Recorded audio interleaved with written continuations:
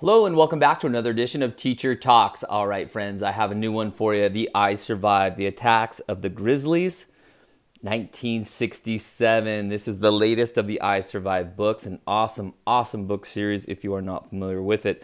So, this is a book series down here by Lauren uh, Tarshish, and each time I say her name, I'm assuming that I get it wrong. So, Lauren, if you ever hear these videos, I apologize to you.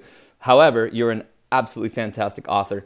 And one of the things that she is so fantastic about is, you know, I, I, first saw these I Survived and I see some of the topics that she covers, which are nonfiction topics, meaning they're, they're true story, while the book is a blend of nonfiction and fiction. And, and that's what I'm going to say that she is absolutely brilliant at. So when I see some of these books and I'm thinking, all right, I teach second grade, I've got third graders I work with as well. Is this appropriate for that age group. Like one of the books I just read to my whole class was about 9 11 and the attacks of 9 11, which obviously is a touchy subject. You know, we, we don't want to scare and terrify kids, but at the same time, we want them to understand some of the history, whether it is more recent or not, that has made our country what it is. So we want them to know about these topics, but in a way that is, again, not, not to scare them unnecessarily, but um, at the same time to make make them aware of these events. So anyway, Lauren does a fabulous job of this. She blends together in this chapter style book. She blends together a fiction is usually how it kind of starts with some fictional characters or one character in this case who basically goes back in time and lives through this nonfiction or real event that happens. So a fictional character going back to this time and living through this nonfiction uh, things here. So very, very cool. And then she also does a really nice job at the end of the books. She kind of goes back and lets you know, hey, what part of this was fictional and what really did happen. And in this case, she kind of lets you know more about this national park and more about grizzly bears and these other things. So it does a beautiful job of it. All right, let's take a look here. So here's the spine of our book here. And here's the back of the book, which I will read to you. No grizzly has ever killed a human in Glacier before until tonight.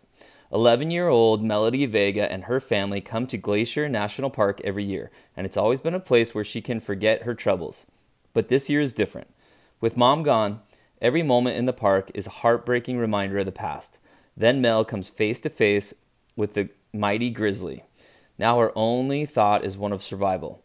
Mel will soon be part of one of the most tragic seasons in the history of America's national parks, a summer of terror that will forever change ideas about how grizzlies and humans can exist together in the wild.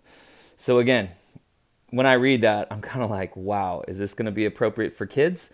But uh, again, I would strongly suggest if you're a parent out there, and if you're a uh, student, you might want to have your parents read these books first but I'm really surprised and uh, happily surprised at how well this author blends together these real events with some non with some fiction and um, basically makes them so they're very digestible, very um, appropriate for these age groups. I'm talking about second, third, fourth grade. This guy right here, I haven't put my level on here. I'm pointing to where I normally put them. This is an S on the guided reading level, the GR GRL, guided reading levels. So level S puts this book all the way up into about fourth grade, I believe. So some of the readers I have in my second grade class are phenomenal readers and they're reading up at these fourth and fifth grade levels and they loved the I Survived book. Some of them, some of them don't care for them at all, but I have quite a few that really, really love this book series and I know they're excited to get their hands on this one as well. So again, some of that's my opinion as far as it's being appropriate or not. Make sure that you as a teacher or a parent are giving these a read over before your kiddos get their hands on them. Um, if they're a real delicate type of a child, well, maybe maybe it's not a great idea for them to be reading these. But uh, again, my opinion is awesome, awesome job. Another fantastic book. Actually, you can see right here, um, they tell you the reading level is in fourth grade. And again, I, I really like that guided reading level system that if you know this channel that I use all the time. All right, friends, that's going to do it for this book review. Hey, do me a favor, hit subscribe, give me a thumbs up, and hit that like. And then in the comments down below, if you leave a kind, non offensive comment about a book series that you would like me to review or a book you'd like me to review, I will do my best to get my hands on it if it makes sense and do a review and maybe even give you a shout out. All right, friends, Appreciate it, and we'll see you next time here on Teacher Talks.